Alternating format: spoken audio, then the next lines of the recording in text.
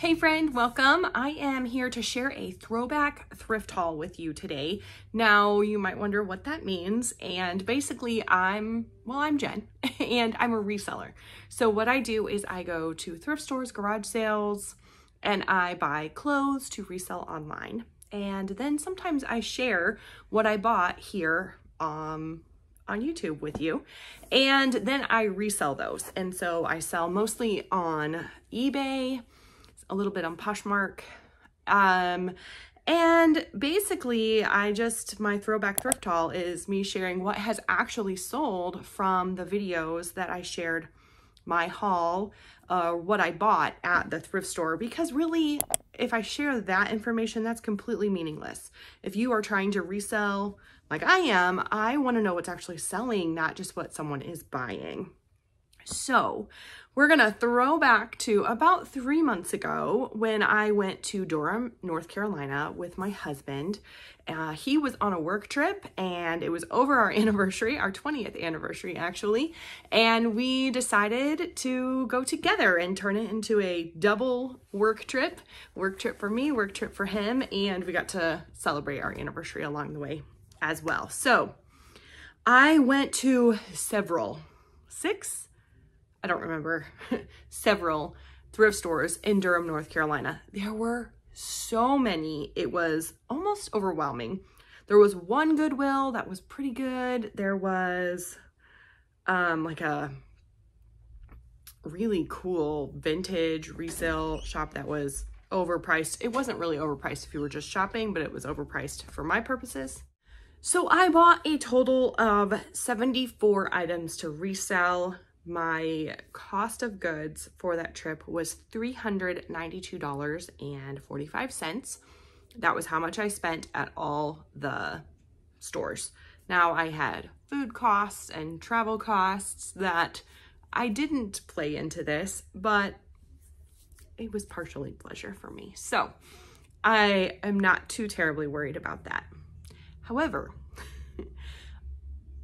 I paid up for a lot of things. I paid um, more than, I like to keep my cost of goods around $2, less than if I can, because I don't generally find a lot of like really amazing brands. I don't often find things that are going to sell for 50, 60, 70 and more dollars. Occasionally I do, and it's really exciting when that happens but I don't, that doesn't happen very often. Most of the items that I sell, sell between uh, 15 and $25 would be my guess, plus shipping. So I paid more than I would normally. It ended up being $5.30 was my average cost of goods. And my sell-through rate is not great. Three months later, after listing 74 items, only 28 of them have sold. That is 38%. That is a little bit sad. Now, I will say some of them were more like spring and summer items, and I didn't list them right away because I was trying to get more of those winter items listed through the fall. So some of them have not been on eBay for three months. However, they're all listed now. So I will say too, if you go back and watch the video, which you should if you haven't, it's fun and I'm a loon. Uh, let's be honest. So anyway, uh, if you have gone back, that number might be a little different and it's because sometimes I find flaws in things and I just average out things. So we're going to go through what sold. I will tell you what it sold for and when I say that, that's what everyone, what they paid on eBay, what they paid plus what they paid for shipping, because that's what comes into my account. And then I will tell you my profit and how long, roughly, how long it took to sell. Um, I will also say, what else did I want to say before we got into it? I don't know, 28 items. I'm not going to share what didn't sell, except I have like four things that I'm going to kind of highlight that I'm surprised they didn't sell. It wasn't a great, it just wasn't great for me, in my opinion. So first there was a Smartwool sweater. That sold very fast. It sold, let's see, we, I bought most of these things on October 4th, 5th, and 6th. We didn't come home until the 7th or 8th. It probably took me a couple days to get photographs, so I probably didn't start listing until about the 10th, 11th, 12th, somewhere in there. And the Smartwool sold on October 22nd. So maybe two weeks at the most it took to sell. So that was exciting. It didn't sell quite as much as I thought it would. 34.15, but my profit was $19.39. Now, what I didn't write down for some reason was what I paid for each specific item. Most of the items I do have a specific price. Um, but, you know, my average cost of goods $5.30. So there you go. uh, these Adriana Goldschmied jeans, they were um, men's. They sold for $37.10. My profit was $17.84. And they sold on the 25th of October. So again, maybe two weeks. Though I did have a pair of Adri Adriana Goldschmied women's jeans that I found on that same trip and they did not sell. These were Sorel kids boots, like snow boots, and they sold uh, within like three weeks for $26. My profit was $9.82. And then these were Levi's and 525 was the number. And I actually just sold another pair of 525s. So that's interesting. But anyway, they were a perfect waist. So they had like an elastic waistband. Um, not a complete pull on, like there still was a zipper. Um, but I will tell you, I enjoy an elastic waistband in my jeans. So when I see those, there's a couple other brands like Democracy has sold for me. In fact, I think, yeah, I think there's a Democracy on this list as well. Um, but those elastic waistbands, the mamas like them. I mean, maybe other people do too, but I sure do. Anyway, they sold for $26.73 and my profit was $10.32. Then there was this White House Black Market cardigan and it had like a pearl detail on it and it sold for $45.75. The shipping must have been high on that for some reason because my profit was only $19.85. I must have lived far away. Goodness. Yeah, anyway, um, because I can't imagine that I would have paid a lot of money for White House Black Market. I do like like J. Jill, Black, White House Black Market, um, Talbot's, uh, what's the other one? Chico's. I like those brands a lot. They tend to sell, if it is a White House Black Market, it's like, it has to be like a jacket or something. I hate it when people say it has to be something special because anything can be special, just depends on who the person is and what you think is special, but something a little bit more with some heft to it, you know, not just like a t-shirt then I found this Torrid blazer and it had like ruched sleeving, sleevings, not sleevings, it had ruched sleeves. Oh my goodness. I think when I bought this, I had just sold another one very similar. And I actually have another one listed because I keep finding them. But there's something about that ruched sleeve um, on a cardigan, or not a cardigan, on a blazer that seems to sell, especially in like the Torrid brand. And Torrid is a plus size brand if you don't know. So that sold for $27.75 and my profit was $12.13. Then J. Jill. This one's like a Ponte knit uh, tunic. Ponte knit has something to do with the stretch. Like it's like a four-way stretch versus a two-way stretch. I believe, don't quote me on that. Um, but it sold for $27.85 and my profit was $13.95. And then this was Joe Brown's. And when I, I comped it because I don't know the brand, but when I comped it in the store, it comped pretty well. And it actually sold, you know what? I was supposed to be telling you how fast all these sold. I will tell you right now, I'm on the 11th of November. So now we're still just within a month of everything I've said so far has sold within a month. Uh, so this Joe Brown's, when I did a little bit more of the comping that I needed to do, it looked like it was a like European brand, but it sold on Poshmark for $24 plus they paid uh, shipping. I think I did offer a discounted shipping. I do that when I send out offers. And so my profit was $13.10. That one was new with tags, which I think was why I comped it because I just, I didn't know. Then here's those Democracy jeans. They also sold on Poshmark for $22. My profit was $10.88. Again, probably with discounted shipping. I didn't write that down for some reason. But the, yeah, the Democracy jeans with those, that stretch, I tell you, I love it. so then there was moth, a moth cardigan and it was so pretty. It had like um, crochet, like a crochet detail. Um, it was just like an open knit and it kind of had a, like a floral detail around the collar. Very, very pretty. Unfortunately, it was returned, so I don't really have a profit on that, which stinks. but I believe it was just returned for fit, um, not anything that I did, which is good. So then this Eileen Fisher sweater sold for $23. I probably paid too much for that because I get a little excited when I see Eileen Fisher. But my profit was $12.30. And that just sold on the 13th of uh, November. So we're still within a month. Then these were Torrid jeans. And I, I just, Torrid really, I mean, this is the second Torrid item just from this haul that has sold.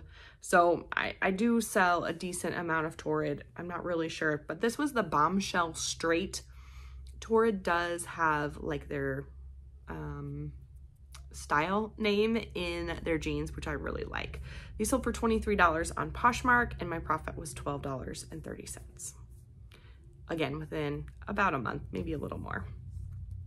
Fresh Produce is a brand that I really like to resell, especially in like plus sizes. This dress, I found a bunch of Fresh Produce dresses, like I want to say four or five on this trip and this one sold for $26.55 and my profit was $13.55. This sold within about five weeks. And then another J. Jill, this one was the like sub brand of Love Linen and it was a floral dress. And I do believe it was it might have been new with tax. It might not have been. So anyway, it sold for $34.73 and I was really surprised because it sold in the middle of November and it was linen. Linen tends to be more like a summer fabric, but I don't care. I'll sell it. um, and let's see, my profit was $14.84 and it was bought on the 18th. So about five weeks there. And then Talbot's, this one is weird to me. Like I thought it was going to sell a lot faster than it did um, and for more than it did, and it was returned. so again, that profit doesn't really count, but it sold for $26.65. So I still have that sweater in my store and hopefully someone will buy it because I thought it was just beautiful with that Fair Isle um, print on the collar is just beautiful. So Pendleton blazers, I sold a ton of them this fall. This one sold within about six weeks of listing it and it sold for $35.20 and my profit was $15.87. And then I paid probably too much for the sweater, but it was LL Bean. It was Shetland wool and then it had elbow patches which I thought were all really good things. It sold for $37.75 and my profit was $16.60 and it sold within probably six or seven weeks. So I don't know. I feel like I know, I think I spent like $12 on this sweater, which is a lot for me, but I also felt like it probably should have sold for more. I don't know. I see other people's like, sold videos and they're like, oh, I sold this sweater for $60. I feel like that should have fallen in there. However, I don't know that it comped that well. So I don't know. I should say too, when I'm saying comped, um, I look up items on eBay and see how much they've sold for in the past what items are listed for now, how many are listed versus how many are sold. And that all plays into one, whether I buy the item or not, and two, how much I list it for or sell it for, which we'll talk about in a minute, I think. Oh yeah, we'll talk about when I talk about something that did not sell. So let's see, where was I? Here's Pure Jill, again, another J. Jill item. This was organic cotton tunic. It was really like a muslin feeling material. It sold for $26.52. My profit was $11.11 and it sold within two months. So sold right at the beginning of December. This shirt I spent, I think, $16 on. um, and the comp on it, there was one sold when I bought it and it was sold for $70. And I was like, I need to try it. And I don't know why, I don't know why I felt the need to do that because there were quite a few listed, but only the one sold when I looked it up in the store. When I went to list it, there were more sold. Um, I don't know why it's different sometimes when I look in the store versus when I look at home, but it is. But anyway, the brand was Turnbull Asser. Turnbull and Asser, I think. And it said something in the tag about being made in England, I think, which was what made me want to look it up. It just looked really nice, like the way the tag was. So I looked it up. It did sell for $50.60 and my profit was $26.77. That was my second highest profit of all these items, which is not great. And that sold within two months. The next item also sold within the two months and was my highest profit. It's still not that great. It was another Eileen Fisher, and this was like a turtleneck pullover purple sweater and it sold for $49.60 and my profit was $26.90. When I say it's not great, I mean, I would love for all my profit to be that, like that's great, but for that to be the highest, I wanted more of these items to be within the $20 profit range, especially when I'm spending $5 per item. Does that make sense? That's just my own thing. I think that you know, however, if you're a reseller, however you want to resell is how you want to resell. Like I watch a lot of different um, YouTubers and everybody does it differently. And I think that's perfectly fine. But for me, I just wanted, when I'm spending $5.30, I wanted a lot of these to be a little bit higher in the profit and wanted to sell more than 28 items out of the 74. That's just, ugh, makes my heart hurt a little bit. So this Fashion Nova was had was a red sequin dress. It was new with tags. I comped it in the store and it looked like I could sell it for about uh, $40. It did have a few little sequins missing and so somebody uh, messaged me and said, hey, will you sell this for a little bit less because it has some sequins missing? I said, sure. They ended up paying uh, $37.20 was what they paid for everything and let's see, my profit was 1681. So again, within about two months. This was a handmade jumper. I just had a feeling. There's no, there were no comps. I don't know. I don't remember what I listed it for. Probably 25 or $30. It sold for 19.75, so probably 15 plus shipping. You'll see here what they paid just for the item. And then what I'm telling you is what came into my account from eBay because I get the amount that they paid for the item plus what they paid for shipping. So my profit on this was $9.76. I will tell you, I am fairly confident I did not pay more than like a dollar for this jumper. Um, I know that there were a few dresses that I bought at one of the stores that were like 99 cents or something like that. And I'm fairly confident that this jumper was one of them. It's sold on the 4th of December, so we're still within two months there. This was an Adore Me bra. Adore Me was the brand. I think that is like an online brand, but I'm not positive. It sold um, on the 6th of December, so still within two months.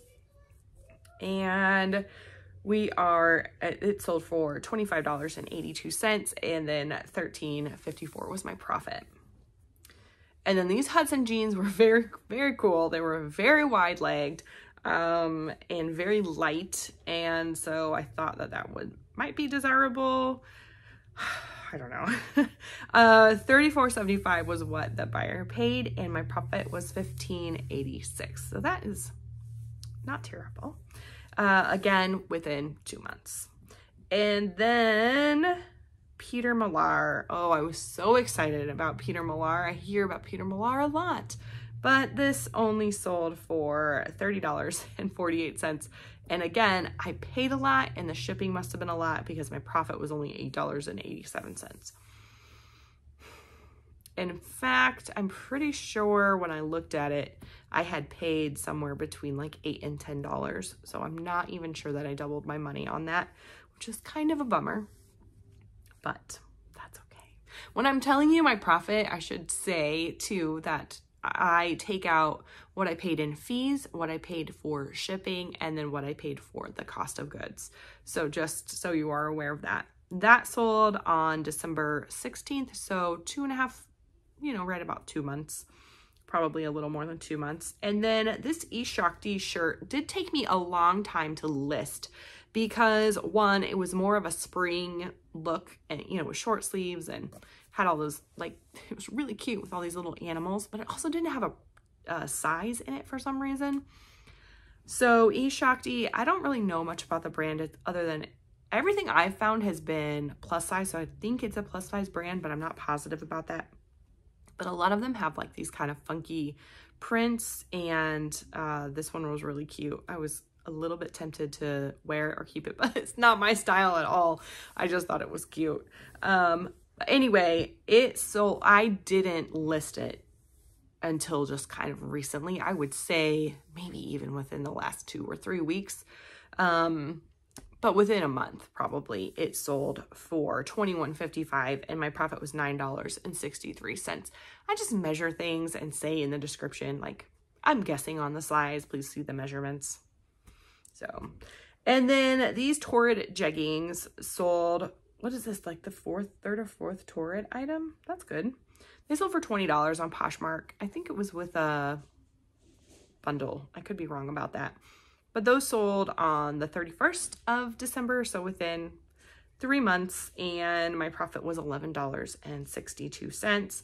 I will say that um, my sales completely tanked at the end of December and they haven't really gone up back up yet. So um, I'm not really surprised, you know, that I didn't sell much from this haul because I didn't sell much at all at the end of towards the end of December. So then I also sold I didn't for some reason didn't write everything down, but 11 is the brand and it's uh Venus Williams's uh, line. And anyway, it was a tennis skirt, skirt, had like shorts underneath. And it sold really fast because it took me a long time to list this little skirt, but it just sold a couple days ago for $26.15. And for some reason, I didn't write down my profit on that specific thing, but that's okay. So, a couple things that I was like really surprised that they haven't sold. Uh, first off, there was an Athleta sweater that um, had like a dolman sleeve and it was really heavy knit, um, navy blue and white striped. And I actually fell in love with it and I keep it, I kept it and I wear it all the time. So, um, not all the time, but I wear it a lot to church. so then there was this uh, eider knit and when I comped it, it comped really, really well. However, I don't think I comped it correctly. So um, I spent like $17 on one sweater, which is completely out of my norm. And I certainly like it was the first thing I listed and it still has not sold. And I don't, I probably just have it priced too high because I want to make back what I, you know, what I sold. I also found these Fox racing pants and they comped super well. Like the sell-through rate, rate was really good, um, but they have not sold. And then there was this Talbot's vintage like wool coat. And I've sold quite a few vintage wool coats recently, um, but they have not sold. And then I also was super excited to find this Ibex jacket and it's actually made of merino wool. It's really nice. Um, this is what I wanted to talk about um, comping earlier. uh, somebody did send me like a $30 offer on it and I declined that. Well, I, um, what is the word? Co-offered, nope, nope, nope, counter-offered. There it is. I counter-offered because I checked the comps again and they really, these jackets really are selling at, you know, 60, 70 dollars. So unless I'm seeing something wrong, I I don't know. I don't think that I am. So and then the other thing I think is kind of weird is this Vineyard Vines hat. This hi Layla. Did you come to say hi? Uh, this Vineyard Vines hat, it was made of lamb's wool, I think, some kind of wool, and it's really cute. And it's just like the right time. I don't know why it's not selling. I did think the comps were pretty good on that as well. So let's go over all the numbers for this haul. My profit, if I add up everything in my spreadsheet, my profit was $402.35. Do you remember what I paid for everything in the beginning? It's not ideal. So if I look up my cost of goods per the items that I sold, it comes to $133.21. I have to add that back in so I can take the whole complete thing out. Does that make sense? Please follow my math, my logic. It's crazy, I know. Uh, so I'm adding that back in. It comes to $535.56. And now I'm taking out the cost of goods that I paid for all of the items. So the whole $392.45. That leaves me with a profit for the whole trip of $143.11.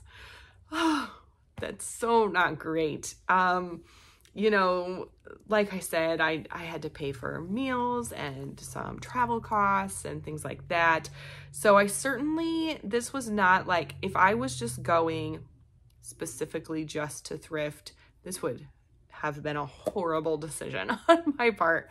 I definitely would not have had made money. However, you know, this worked out where I could make it a work trip and go with my husband on his work trip and we could be together and it was um while I'm very glad that I got to do some thrifting and I really enjoyed it and had a lot of lot of fun.